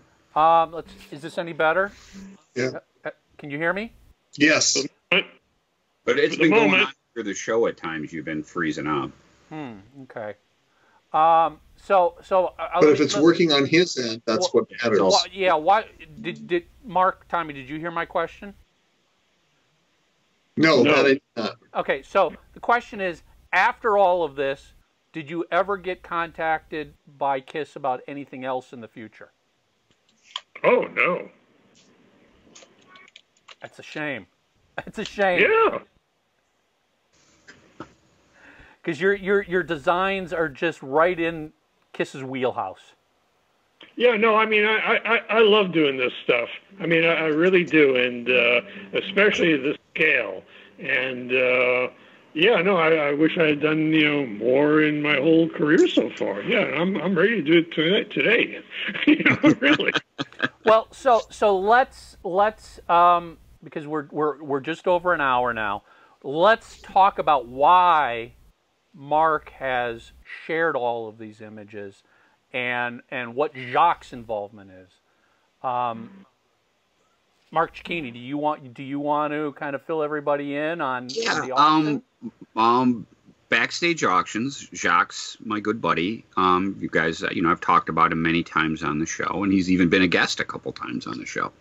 He's going to be selling all of Mark's drawings, or quite a quite a few of the things that you're seeing today, uh, among other things. Um, matter of fact, the auction preview, I think starts and and we'll get the exact dates. Uh, I think starts around the 16th. That's the preview. The 12th. Um, The is it the 12th. 12th? Okay. Um, yeah, you know, yeah, certainly. Mark, correct me here. And then, um, the, when does the auction start? I know it ends on Sunday, the 27th. I know The viewing is for uh, one week, and then the bidding is for a week. So the 19th is when the auction actually starts. Correct. And and and listen, Kiss fans, this is some holy grail stuff. Absolute holy grail. And you're going to have to beat Mark Cicchini to it. Uh, I've Right, well, I mean, my, uh, I've the already kids, got my. uh, Uh, The model itself is uh, there's only one, and that's it. And it's in good shape. And uh, yeah, no, it's it's definitely you know it's it's a sculptural thing to look at because it's not in a proscenium, and uh, you know you can walk around it. You know it's uh, it's. well, I've got three-dimensional. just the spot for it, Mark. I've got just the spot for it. hey, one of the things I wanted to talk about too, and and this this has more to do with some of the paperwork that I believe he he got that Jacques, uh, you know, that's your paperwork, Mark. yeah, but- yeah. Um, some of the paperwork you have, um, uh, there's a budget for the very first tour, and and and for some of the, the you know the the the the, design and how much things cost. But one of the things that really caught my eye, um, was that on the Elder tour that was coming up, in the budget. Now, keep in mind, this is spring. I think the last thing, Mark, that I because this is paperwork that wasn't shared with us. This is just stuff I was talking to Jacques about. I think he said the last thing you signed off on was like May of '82. Now, that's like the only date he could Jacques could give me, and I don't know exactly how accurate that is, but that works out right. If you were working, you know, February, providing sketches for a few months, you know, your involvement ending in May doesn't sound off. Would you agree with that? Yeah. Okay. Yeah. So with with that said, part of the budget because there's budgeting details in the Elder Tour, which you know has separate to do with you know the designs that Mark was sharing, was lead guitarist two thousand dollars a week, which tells me that Ace was already gone, or they They knew Ace wasn't going to be touring. yes. Now we know Ace didn't tour a year later for the Creatures of the Night tour, but nobody know nobody up until now knew that as early as the first half of of 1982 Timeline is everything. I said that the- the day I got here. the the band already knew Ace was not going to be touring in support of the Elder. which also makes sense because they had to beg him to, to keep in mind. So the summer of '82, when they're recording Creatures, he's not participating. Right. He's on the cover of the album by the fall of '82, and he does the European promo tour. And if you watch those videos, yeah, clearly doesn't know the songs. You know when they mimic uh, the, s- the "I Love It Loud" and "Creatures of the Night" and stuff. He clearly doesn't know the songs. So I just find it funny that pre May of 1982, somebody in Aucoin management or whatever put in like, we need a replacement guitarist and we're going to be paying him two grand a week. Again, that's Right. the fascinating part about collecting this sort of stuff. And Kiss's history is so freaking rich. And we just hit a freaking oil well here with you, uh, Mark, of the stuff that the diehards didn't know. You know, the, these people who eat, live, and breathe this stuff that we didn't know, and it's just fascinating. You know, all this stuff, and and and guys, you're going to have an opportunity to own some of this stuff. I mean, that's pretty pretty incredible stuff. And uh, you know, like we were just saying a moment ago, the that uh, the auction preview starts in a couple weeks, and uh, you know, then the by the end of the month, by ha- tell you what, by Halloween, you could have some of this stuff in your house. You you, So, you, uh, you could have the Destroyer stage in your house and using your McFarlane action figures to play with it. That's funny. a little shot there. But. Uh, Yeah. yeah, yeah, Mark. This is this is all you know. Again, we talked early before we hit the record button. Timeline is so important to all of this because, especially the stuff you did for the Elder, is is a is a timeline for Kiss that there's just not there's a lot of holes in it because Right, there was right. so much change happening in Kiss's world at that time. Ace Fra- Eric Eric Carr is is fairly new to the band, replacing Peter Criss. Ace Frehley is gone. They're contempl- they, they they the Elder tour they they changed their makeup and costumes dramatically. Um, you know, record label is starting to threaten them with we're pulling the plug on you guys. You know, it it was like as as I said at the beginning, it was a a time where it basically nearly sunk the band for good. So you've got stuff here that sort of helps historians paint the picture more accurately as to what was going on time wise.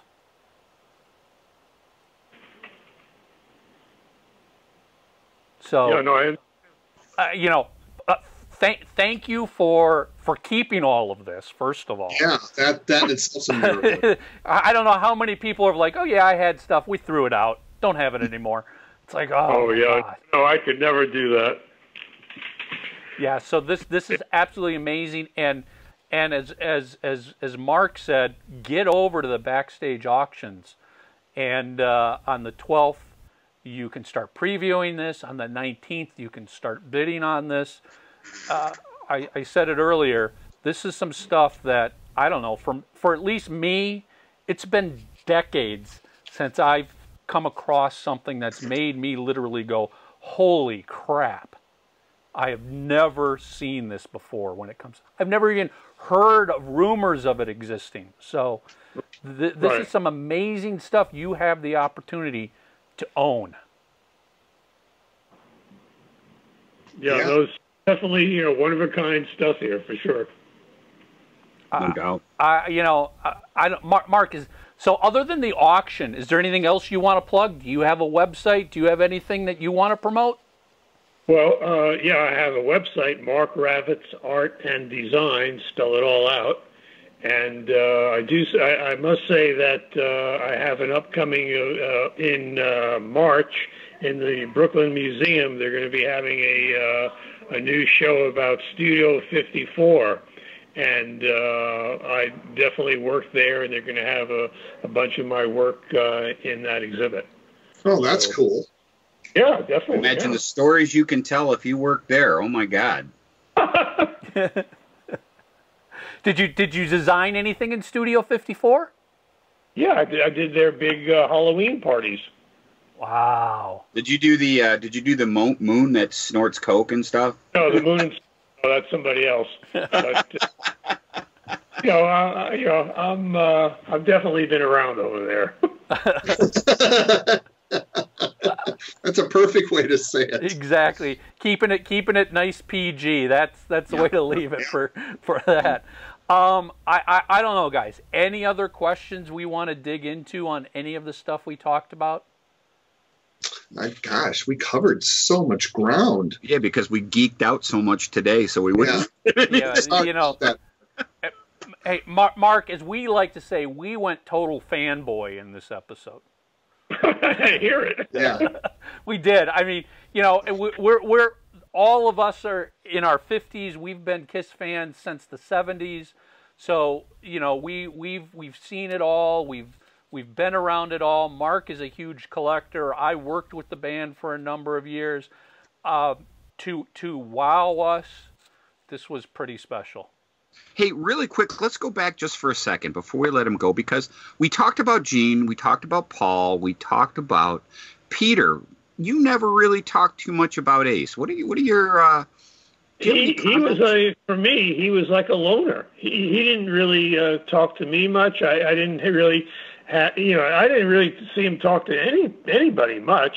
And uh, he, uh, you know, he was off into his own like uh, world, and uh, and that was it. I mean, you know, I, I don't have anything like bad to say. You know, there's nothing bad. It's just like I didn't just uh, didn't interact with him much. He didn't have you know uh, any input into what was going on. You know, like Paul and, and Gene did, and uh, you know he uh, he was there to play his uh, music and do his riffs and stuff, and. Uh, I mean, he just his personality fit the space uh, cadet mode, and that was that. You know, I mean, he, you know, it's funny for me. It's like, you know, I don't know if I'm like just you know uh, programmed like that now, but each of the guys that played those various characters fit them, and. uh you know, it's like like like it's like casting. Now they they did this by themselves before any Bill Aucoin.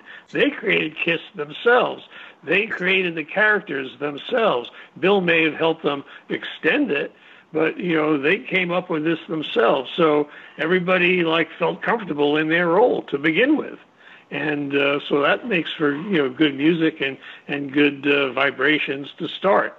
You know what happens with success that's a whole other uh, um, uh, seasoning that uh, changes life. So uh, um, yeah, but to begin with, they created this, and this is theirs to start. Yeah, it's a good point. Mark, I just I need thank you so much. Yes. For, yes. for for making this stuff available to Jacques to auction off, and thank you for taking the time to talk with us and, and add your stories behind these documents because uh, again, you know, at least it's it's all documented now. This part yeah, of no, this, I this this part of do history it. is is is more complete thanks to you. Thank you. And best of luck with your auction. Thank Amen. you. Oh, people yes, will good know luck. about it. People will know. Yep. All Thank- good. Thank thank you, Mark, Mark. Ravitz. Thank Mark you, Mark. Ravitz, artanddesign.com. That's my website. Perfect. Please go visit it. Thank Mark Thank- for this. Be well. Thank you. Take care. I know. total fanboy. I went total fanboy on this. I, again, I've said it twice. I, it's been decades since I came across something that totally made caught me by surprise and made me go holy shit. And and I don't know about you guys, but Actually, I was- no, that's not true in the respect that we've had a few moments like that. This, well, we've, they're we've, rare. we've, we've, we've had some cool moments, but this is stuff. This was stuff that no one ever knew. we didn't even know it existed. We, Well, we, here's we the best- there, there wasn't even really rumors of it existing. There wasn't the, oh, I hear a collector owns it, but it isn't sharing. This is, again, this is like a, a pure discovery almost. Who who knew that G- that Gene looked at designs for uh, the well and for the Kiss Temple? These are things that were never even talked about. Right. Gene Gene right now could do could do an interview and go, you know, we we looked at some stuff that was you know like a temple and and you know an Egyptian motif before Hot in the Shade. You know what I mean? He now could say that and you'd go, hey, all right, yeah, I know what he's talking about. Yeah. He's talking about Mark Ravitz's designs. Now here's the thing for me, because Creatures was always supposed to invoke power and metal Yep. and all that stuff. Did none of us, none of us knew that that came out of the Elder. Yeah. And and and those elder sketches, the full stage sketches he had, were definitely invoking that as well. Very power, very metal, very heavy. You know, jet thrust engines on stage, all this metal. It was just like wow, even back you at the think elder. that was the reaction? Because by then they knew they were dead in the fucking water. Do you think at any time Gene said we need big, powerful? Because when they got a hold of him to design it, I'm sure they had to go. Well, what are you trying to project? What do you, you know what I mean? What do you? Because that's what Mark said. He's like, you know, battleship, big, and then you know the the turbines Yep. and the, you know what I mean? Because I, I, that because that was the antithesis of of the elder was the total opposite, Opposite of that. everything. Yeah. yeah you know what i mean I mean, could could So- you could you imagine that stage with with Kiss prancing around in their little costumes from the Elder, Fuck no. Fuck no. it, Wouldn't it, wouldn't have worked. You know, Gene and his little ponytail and uh uh uh uh just wouldn't work. I, I don't know. It's just the the the the the gaps in timeline that have been filled in here are just Huge, huge. I mean, especially this period. The, We the- just found pieces of the jigsaw puzzle that we lost under the couch. we didn't no, we didn't even know we lost them. We didn't even Yeah. know they were there. you, you know, it, it it it's sort of like pulling out that pair of pants that have been in your closet for 20 years and sticking your hand in a pocket and going, "Holy crap, there's a $100 bill in there." I mean, learning that that Ace Frehley was out of the band as early as the beginning half of 1982. They knew he was not going to tour. That that also works in the timeline though, because uh, he didn't work on Killers. He didn't, you know, Yep. work on. So that all makes sense. Yep. But to see it in black and white, like touring musician, lead guitar, they didn't have a name, they had nothing. They're like, all we know is we got to offer somebody two grand a week. And you know what? Back in 1982, that's That was pretty. huge. That's pretty good a freaking money. money. Mm. Two grand a Yeah. week. Well, again, you know, going back to the whole creatures thing, I always assumed that after creatures was done is when they went, you know what, we need a stage that matches the power and Yep. might and what we're trying to, you know, from the drum sound on down. When lo and behold, it It was was the opposite. Yeah, yeah. They they they had that they had ba- that back in the first half of 1982, thanks to Eric Carr. Mm-hmm. Eric Carr's ideas. Hold on, the did Eric Carr say Kiss? Uh, he, he, he, I don't know, but it sure wasn't Vinnie. he, he definitely saved Creatures of the Night. It's all Yeah, it's all to no doubt. Eric's credit. No He, doubt. he, he's credited doubt. now with the drum sound and the stage. Yeah, that's awesome. This is this is absolutely fascinating, people. So what should we- What should we do for homework then? What was the what what was the thing that most blew your mind? Yeah, what Well, what what of made your mind would you have explode? liked to have seen? What was that, Mark? Hmm? Which one of those ideas that went unused would you like to have seen, or what piqued your what piqued your interest the most? Was it the well? Was it the turbines? Was it, you know, was it the temple? What what would you have? Also, too, what do you think would have worked with the elder? Because we clearly, the three of us, all agree that the the battleship and all that stuff wouldn't have worked. But had they toured small clubs, maybe that little temple with the all-seeing eye, maybe that would have worked. Although Um, let, let me let me It's throw, something that's mystical and and old world. but but let me let me throw in a huge what if. What if the the plans for a elder tour were, you know what, we going into all of this design, we know our costumes aren't connecting.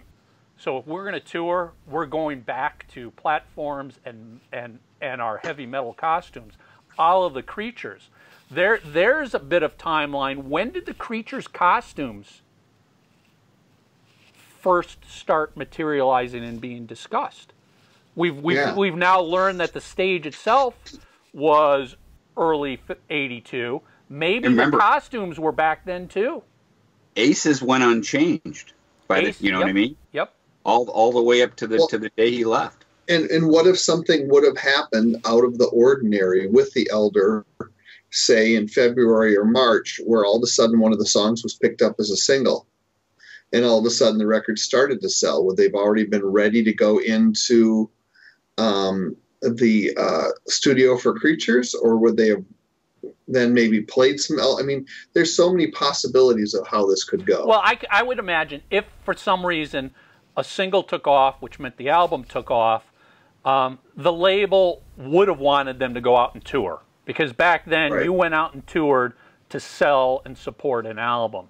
So they would have they would have done a tour. How long it was and how extensive it is, whole nother question. Um, but I think we all agree they could have performed some of the elder songs in Creatures of the Night costumes. Yeah. Yeah, but if you go back and, and in real time, of course, timeline is everything. Platinum with Dynasty, gold with Unmasked, and I'm speaking just of the United States. Zippo for the freaking Elder. Yep. That's why they they just they didn't even they couldn't get enough interest to tour, and they knew it. And they yeah, and, and, and as we know, basically the label pulled all support for that album the day the album was delivered, and they listened to it, and it was like this isn't going anywhere, and it was done. It was it was delivered DOA, dead Yeah. on arrival. So you know the label was not going to do anything to even try and save it. It's like why why risk losing any more money? Let's just take our losses and regroup. plus the turmoil plus the turmoil within and i remember there's a really great hit parade article where paul just says shortly after the elder look we're going we're going back in the studio and we're going to make you know a heavy metal record yep. and they did and, and although to be fair they did say that after unmasked as well i think they were stung by the gold Yep. and matter of fact, the uh, guys, you have to go to YouTube to check it out because it's not the same song that's on The Elder. Um, Deadly Weapons is a great demo, and it's it's kind of formed the basis in some ways for the song that's on Asylum. That's on Asylum, right? Love's a deadly weapon. I think that's on Asylum.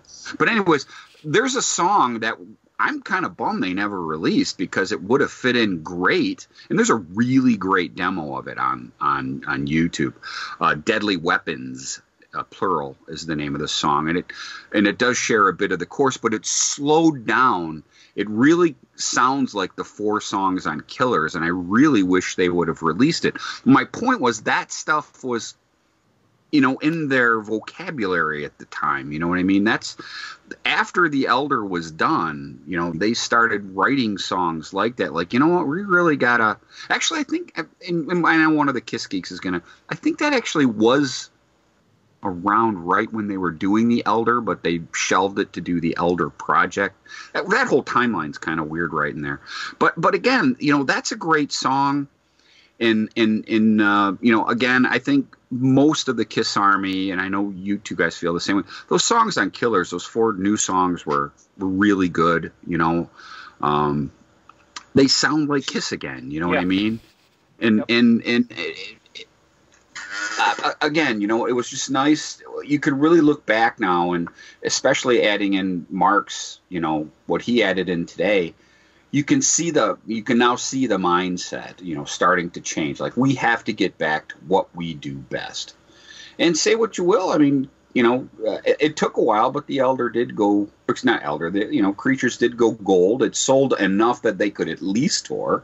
And like i said uh, you know a, a couple episodes back i still think my big what if is if they would have said what they say now meaning you know revisionist history going yeah, I, I think at the time they should have went back and you know did in stores, which they did do some. But I mean, in total, want to reintroduce themselves as the heavy metal Kiss, the Kiss Yep. that you grew up and and you loved. I, I still think the trajectory would have been different because one of the things that that really makes me feel good is something that we talked about earlier in this episode.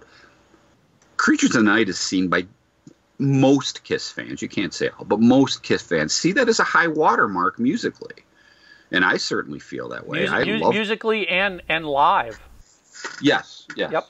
Yep. Mm. And I, that's you know, when I uttered those infamous words in February of 1983. No Peter, no Ace, no problem. I, I, I know, loved that. I loved that record. Yes, so do I. And the tour and the stage and uh, you know, uh, Mark's the same way. I mean, in, in, in, in my heart, that tank stage holds a special place. And and to learn today where that stage was birthed, basically where it, where it came from, is is just huge. Because because even when we had the the artist who drew the tank for the tour book, he didn't know No. you know, they built a stage based off of the drawing he did, but that was all a year earlier. A year earlier. I mean, Fascinating. again, for homework, uh, what what what part of this episode just made your head go? holy crap, your jaw dropped, your tongue drag across the floor, you going, I want to own that piece of, of memorabilia from the auction. Um, you know, and, and we're spending so much on the, the elder stuff here, but it's not to take away from the material from the destroyer stage. That model that he, he built, when I saw the pictures of it, I'm like, why isn't KISS making a model kit of this that we can build ourselves? I mean, it's beautiful. It's a beautiful model, beautiful. I mean, as Mark said, he knows where it's going to go in his house. exactly. I'm going big on that one, baby. Uh, you know, we, we may we may have an episode here in, in a couple months where Mark's sharing all of the stuff from the auction. Oh um, boy, I hope so. because there's this was this was a special episode. What what was the special part for you guys? And you know where to go.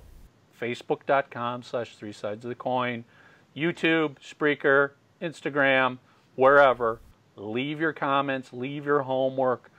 Um, yeah, what what made you go holy shit? And I want you guys to realize just how geeky the three of us are. Well, Lisa's geeky too, but in a real hot way. But but when we when we found out about Mark coming on, and I shared, you know, when I when I when I talked to Jacques with these guys, we are like, oh my god, we could not wait oh, yeah. to share all our geekiness with you guys. We, because... we, we, we were super excited when when Jacques informed Mark that we could have Mark Ravitz on as a guest. We got super excited. But let me tell you guys, when Jacques just this morning sent over the photos, oh. that that that super geeky excited went to the stratosphere. I mean, Tom's like Mark's going to have a heart attack. Yeah, I mean, you, you, you, you, you remember when when I posted that that sketch of the tank stage from Eric Carr? I was just like, holy shit! I, you know, we we were just like, this is incredible. This stuff. My first thought of my butthead. Yeah. My first thought was of you, Mark. Like, oh, oh yeah, I, I, I, was like, Mar- Mark's, crying, Mark's gonna want gonna this for so much, yeah. so bad. Yeah. It's second mortgage time at, at the Cicchini house. No, dude, that's my best Canadian, and it's not real good. No, he'll just sell off a bobcat. yeah. a couple of those. I can, I can let one go. Hmm. Another Kiss Cruise or an auction? oh, no, I'm not, I'm not missing the Kiss Cruise. He won't miss the Matter of fact, the crazy part about all this, it's kind of good for my finance. Well, good in a way, because I have to have everything financed. I'm going to be gone for two weeks. So I have to I always pay all my bills like a few weeks in advance. So this is going to be weird because the auction ends the 27th, which is a Saturday. Is it Sunday? Is it the 27th or is it the 20? Uh, let's see. It it ends because I'm leaving for Florida on the 29th. 26th is a Saturday. The so 20, 27th is, is right. So it ends Sunday. on the 27th because I'm leaving for Florida that, that Monday, the 28th, because the Kiss Cruise is that Wednesday. So I got to get my finances in order because I'm going to bid on this stuff, then I, you know, then it's and and of course, you know, I've Jacques been my bud for a long time. If I do win any of this stuff, I got to let him know I'm going to be out to sea, and you know, just hold my stuff there for a couple of weeks because I'm I'm going to be gone for a couple of weeks um, when we go. So it's just going to be a real exciting time. You know what I mean? I'm really looking forward to this auction. I'm just looking forward to this auction for for one reason. Um, there's just some stuff I'd never seen before. Yeah or at least thought I'd ever even have a chance to own and and that's real exciting, man. You know, it's not like it's like a poster that you've always wanted or something. This is stuff that I didn't even know existed. That's you know what I mean? that's what makes this uh, people understand. And, and maybe this is timeline because we've been here since the 70s with this band. But this is stuff that in 40 plus years of being a fan, and as I've said, we've all run in the in the Kiss circles and collecting circles for for decades. This is what makes it holy shit.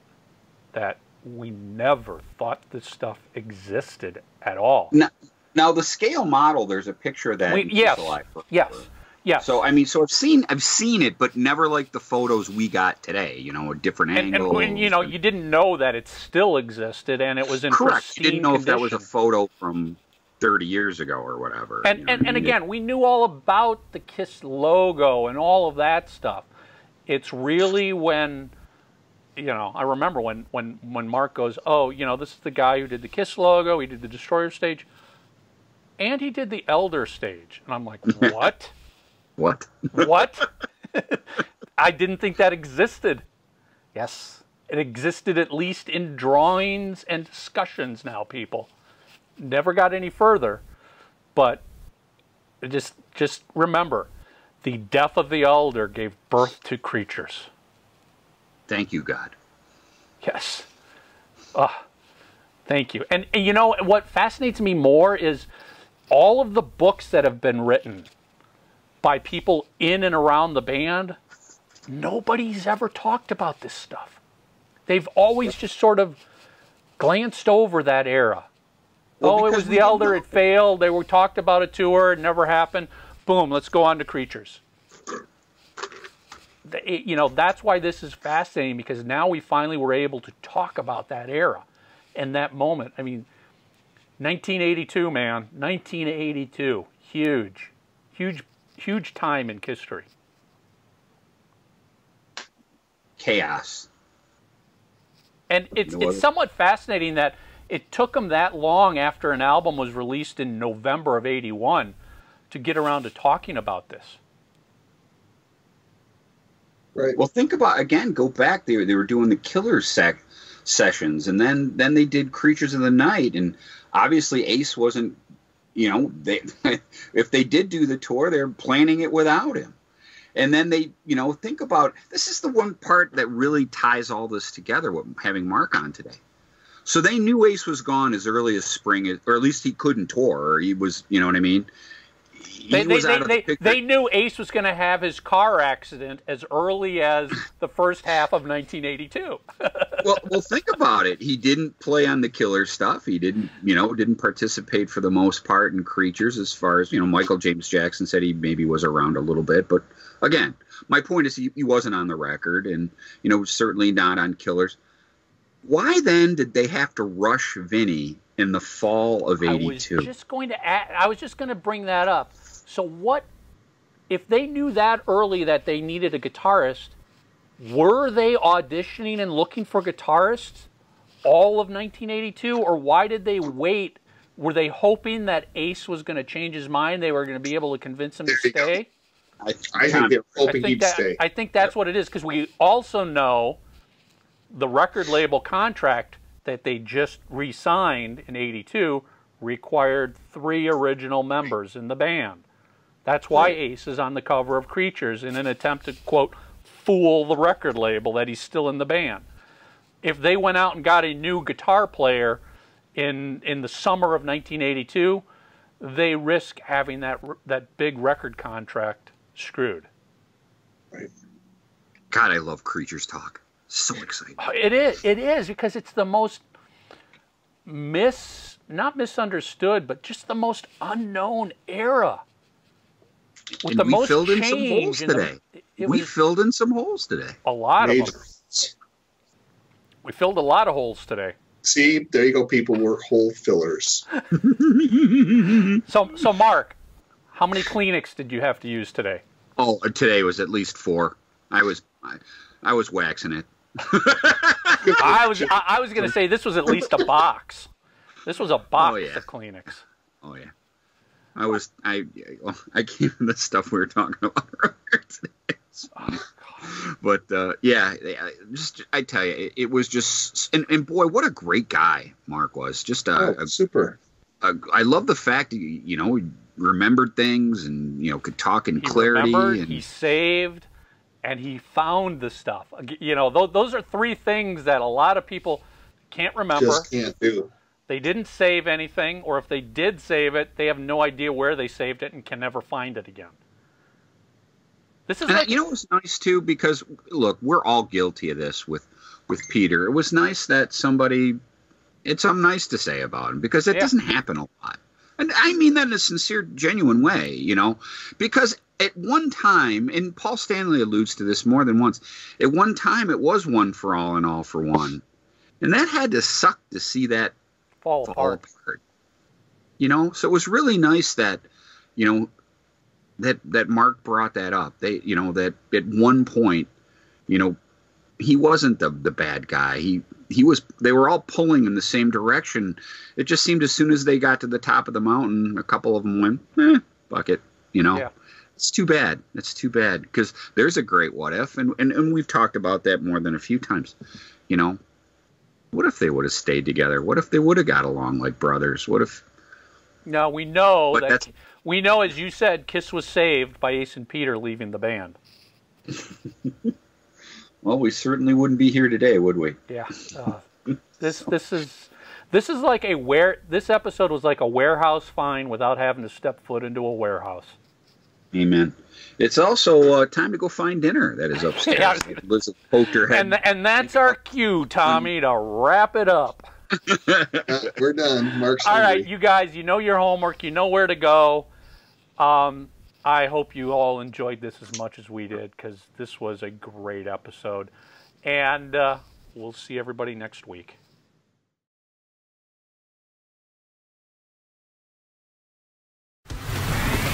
So you love the show. Go to itunes.threesidesofthecoin.com and leave your review and rating of Three Sides of the Coin. Thanks.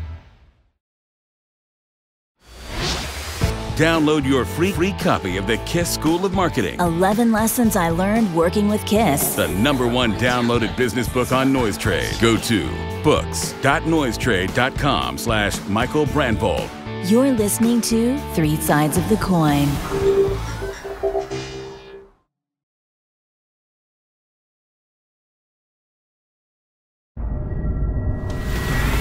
So you love the show. Go to itunes.threesidesofthecoin.com and leave your review and rating of Three Sides of the Coin. Thanks.